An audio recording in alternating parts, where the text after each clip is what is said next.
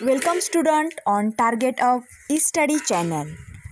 In this lecture I will complete 20 MCQ series with answer on semiconductor devices and the first series is on semiconductor basis.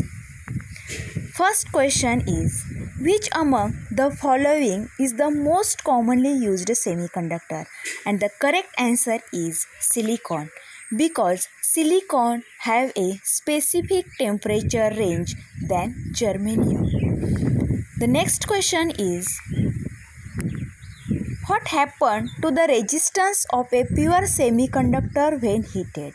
And the correct option is the resistance decreases. Because when we increase temperature, the resistance is decreases. So, semiconductor is called NTC. The third question is a semiconductor is formed by dash dash bonds and the correct option is covalent because covalent bond is formed by sharing of electrons. Also semiconductor is formed by sharing of electron. So covalent bond is present on semiconductor. The next question is a semiconductor has generally dash dash valency electrons and the correct option is 4 because all semiconductor are tetravalent valency electron.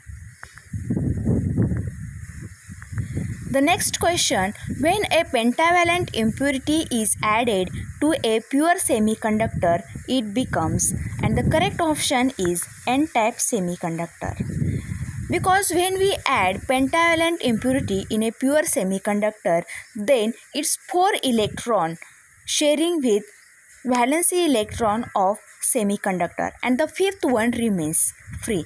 So when we add pentavalent then there are majority charge of electrons. So this type of semiconductor is called n type semiconductor the next question a pentavalent impurity has dash dash valency electron and the correct option is 5 penta means it have a 5 valency electron in its outermost orbit. The next question addition of pentavalent impurity to a semiconductor creates many dash dash and the correct option is free electron because its 4 electron is shared with semiconductor material and the fifth one remains free so the correct option is free electrons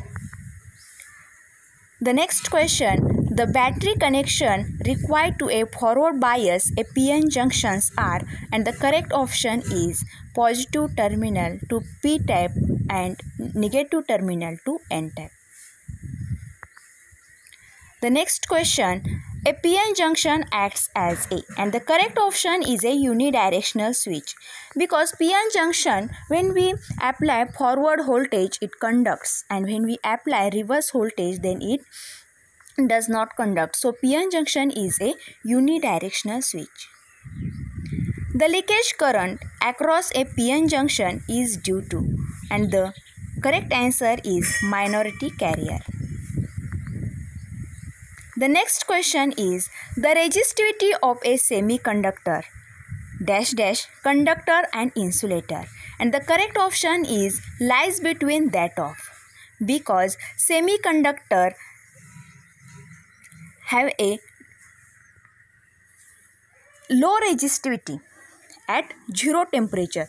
And when we increase temperature its resistivity is decreases. So it behave as a insulator at low temperature and it is a acts as a conductor at a high temperature so semiconductor's property lies between conductor and insulator the next question is in a semiconductor, the energy gap between the valency band and conduction band is about and the correct option is 1 electron volt.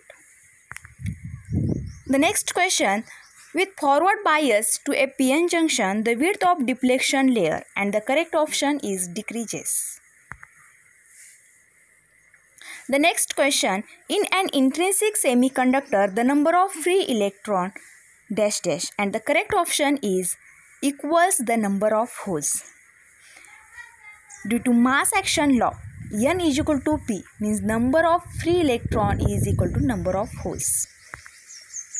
The next question, a hole in a semiconductor is defined as and the correct option is the incomplete part of an electron pair bond.